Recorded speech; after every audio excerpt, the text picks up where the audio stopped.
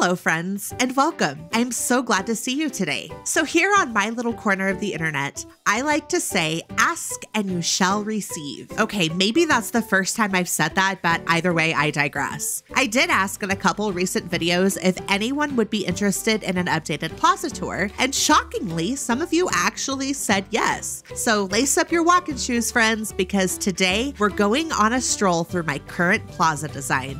And without further ado, let's get on with it.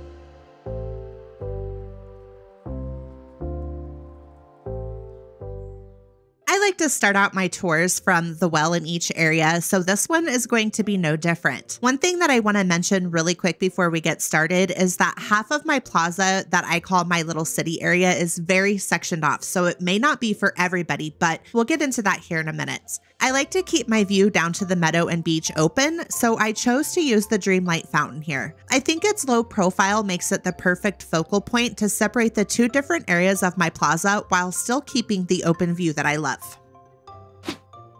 If you're a return visitor to my channel, then you probably already know how much I love this lighted gazebo. And my favorite way to style it lately is to create any kind of a bar area. Here, I styled it as an outdoor coffee area. The space provides a nice area in the plaza for villagers to catch up with old friends or to grab a quick cup of coffee before strolling through town. The next area is my town square, which I have featured as a speed build on my channel. If you're interested in watching that video, I can link it here as well as in the description box below. When I mentioned at the beginning of this tour that part of my plaza was very closed off, this is exactly what I was referring to. Once you enter the town square, the only exit is the way you came in. Now, I know a build like this isn't necessarily for everyone, but it is working very well for me. I really like that Remy's restaurant and Scrooge's shop are steps within each other, and I really like that there's no empty space here for things to spawn and get in my way. Next to the town square, I built a city park. There are two ways to get to this area with the main entrance being off of the well. I also have a speed build of this area up on my channel, which I will also link down below if you would like to watch that for more detail on the area. I chose to use the large Mickey fountain back here, and I centered the rest of the build around that. Since I closed off the town square, I knew I was going to need a way to walk around the entire back side of this area or I was going to hate it. So I created an alley. I also wanted to do the alley to give flowers and herbs a place to spawn, and I also thought it would help to create the city-like vibe that I was going for, which is why I chose to use the metal mesh fence back here instead of the brick and iron fence that I used throughout the rest of the build.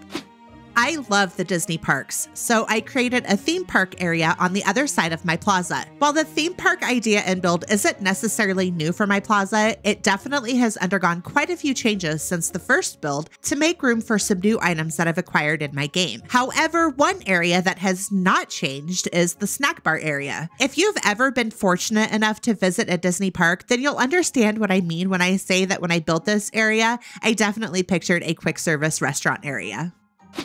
These next two areas will hopefully be getting additions to them. In the game area, I would really like to add the Wreck It Ralph arcade games and maybe the skee ball game that I've seen other players use, but until I get lucky enough to obtain these items, all I can offer my villagers is air hockey. The next area started out as a small park area, but since I added the city park on the other side of the plaza, it's kind of in a transition phase until I decide what exactly I want to do here for sure. But for now, I'm okay with just having some some rides. A bit of a brief intermission here. If you like Stitch's little red ship that I used in this area, run to Scrooge and buy as many as you want. It may be intentional, but it could also be a glitch. But right now, they're only one star coin. And better safe than sorry, I like to say. Back to your regularly scheduled programming. I created more alleys behind my theme park to allow access to the Meadow and Sunlit Plateau, but they're boring and the best stuff is just around the corner. I think this may be a bit of an unpopular opinion based on some of the posts that I've seen in various groups on the internet, but I'm a little bit obsessed with Woody's house, so I put it in the center of my build in this area. A photo booth sits next to the carousel for those fun staged shots with friends to remember the day spent riding rides and eating yummy treats. I've said it before and I'll say it again. One of my favorite things to do in the parks is to watch shows. Not only do they provide a welcome relief from miles of walking, but they're also super entertaining and fun to watch. The stage obtained from completing Olaf's quests provided the perfect opportunity for me to build a theater area in my plaza. This area also includes a pit for musicians to provide the soundtrack to the performances and an area for cast members to get ready for their moment in the spotlight. Of course, there's plenty of seating for villagers to take a load off and snacks to refuel. Another thing that has stayed untouched in my plaza is the silhouette drawing station. At Walt Disney World, there are these little stands where you can sit and an artist will draw a silhouette of you. The end result is a beautiful souvenir that can be treasured for years to come and is one of my favorite keepsakes from Disney World. Down the center of my theme park, I built a seating area that is centered around the Celebrating Friendship statue that players can earn in the Centennial Star Path. I also added in some carts where villagers can stop and shop for fun souvenirs and yummy treats. Okay, so while I was recording and editing this video, the funniest thing happened. I had just finished editing the game area of my plaza and had just got done saying that I wanted Scrooge to give me the arcade game, and I was still awake when the shop reset. So I ran over to check what Scrooge had for me, and lo and behold, the coin operated game was there. I strongly considered refilming that portion of the tour to include the arcade game in my build, but I really thought the story was too funny not to share. So here's what my game area area looks like now with the arcade games.